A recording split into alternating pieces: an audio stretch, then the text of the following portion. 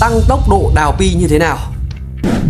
Xin chào quý vị và các bạn. Nếu bạn nào đã, đang và sẽ tin tưởng vào cái dự án Pi Network Và đang tham gia vào dự án Pi Network Thì chắc chắn một điều rằng Một cái các bạn rất mong muốn Đó là làm sao tăng được cái tốc độ đào Pi. Thì đây, hôm nay clip này mình sẽ hướng dẫn các bạn những yếu tố để các bạn có thể cải thiện được tốc độ đào pi để có thể tích lũy nhiều pi nhất ở trên app đào các bạn. Đây như thế này đây là số pi mà các bạn đang tích lũy được trên app đào nhé ok.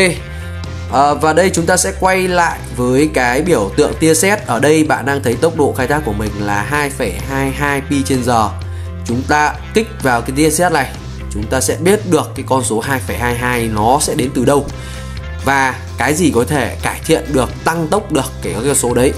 Đây các bạn xem nhé 2,2 chính xác là 2,2191 pi trên giờ với cái tài khoản pi này của mình cái con số này sẽ là cái uh, kết quả của ba cái con số khác nhau. Thứ nhất đó là tốc độ cơ sở. Thứ hai là cái phần gọi là phần tăng cường.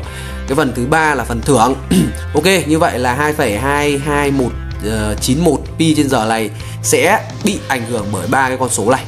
Thì ở đây chúng ta thấy cái tốc độ cơ sở là một cái số mà nó sẽ giảm theo từng tháng và cái con số này chúng ta sẽ không can thiệp được. Bản thân chúng ta là người đào pi sẽ không can thiệp được. Do đó chúng ta sẽ có hai cái thông số để có thể cải thiện cái này thì giảm. Vậy muốn kết kết quả tổng nó tăng lên thì chỉ còn nước là các bạn sẽ phải can thiệp vào hai cái con số này tăng cường và thưởng ok vậy thì mình sẽ nói về phần uh, tăng cường trước. Đây phần tăng cường là phần này trong phần tăng cường thì nó lại sẽ có ba yếu tố quyết định lên cái con số của cái mục tăng cường này. Thứ nhất bạn là người tiên phong ok bạn sẽ được hưởng là 100% ở trong cái trọng số 685,50% này của cái mục tăng cường với cái tài khoản của đào pi của mình các bạn nhé. Nó sẽ không giống với bất kỳ một cái tài khoản pi nào khác bởi vì cái có những cái con số này nó sẽ phụ thuộc vào cái thời gian mà các bạn đã tham gia cái dự án P Network bao nhiêu lâu. Như mình, với tài khoản này mình đã tham gia được hơn một năm. Với, có thể là các bạn sẽ có cùng một số lượng ờ, người ờ, rep đào tuyển dụng được. Đấy, nhưng mà có thể cái này nó sẽ khác nhau. Đó, nó không giống nhau nên các bạn đừng thắc mắc là tại sao tài khoản của mình sẽ không giống tài khoản của ừ, của các bạn. Đó. Ok, đây nhá, các bạn là người tiên phong chưa mạng mở thì chúng ta vẫn là người tiên phòng phần này là 100% vòng tròn bảo mật, các bạn sẽ ép 5 người thân của các bạn vào cái một cái gọi là vòng tròn bảo mật thì các bạn sẽ được thưởng thêm 100% trong cái trọng số tăng cường này. Tiếp theo đến một cái yếu tố nữa, một cái thông số nữa ảnh hưởng đến cái trọng số của cái mục tăng cường này, đó là phần thưởng khóa. Thì với dự án Pi Network, bạn mà cam kết khóa cái số pi của các bạn trong cái app đào bao nhiêu lâu thì bạn sẽ được thưởng cái phần trăm uh, phần thưởng khóa này nó càng cao. Như kiểu là nói lôm la là kiểu dạng chống lạm phát. Bạn có tiền nhưng bạn không tiêu bạn cứ giữ đấy. Đấy để làm cho cái số lượng pi coin ở trên thị trường nó khan hiếm nó ít đi thì cái gì hiếm nó sẽ phải quý nó phải sẽ sẽ phải có giá trị hơn với những cái thứ mà nó có nhiều nó có tràn lan hiểu lôm la là như vậy thì cái vòng tròn bảo mật này nó ở đâu? Đây, các bạn sẽ bách lại đây. Ở đây chính là cái vòng tròn bảo mật là cái khiên này này. Đấy, khi mà các bạn ấn vào cái khiên này, các bạn sẽ ra được một list đấy, những người ở trong cái vòng tròn bảo mật của các bạn. Khi mà bạn ép đủ 5 người, các bạn có thể ép hơn. Nhưng mà nói thật là mình nghĩ là có hơn thì cũng chả thêm được cái gì nên các bạn cứ để năm thôi.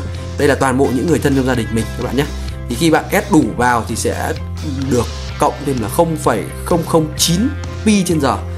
Thế thêm mọi người vào cái vòng tròn bảo mật này như nào? Đây các bạn ấn vào thêm từ danh bạ này. Đấy đây là những cái số điện thoại à, mà người thân trong gia đình mình đã đăng ký đào pi. Đấy thì mình ép thêm vào. Đó đấy nhé các bạn nhé.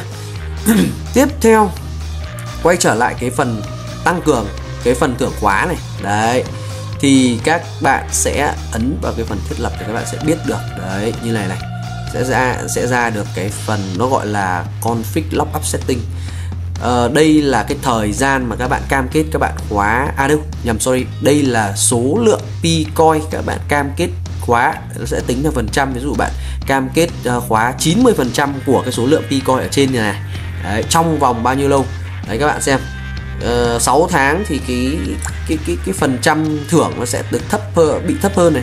Tăng lên một năm các bạn khóa càng lâu thì nó sẽ càng được cái trọng số phần trăm nó sẽ tăng lên. Đấy mình để hẳn 3 năm.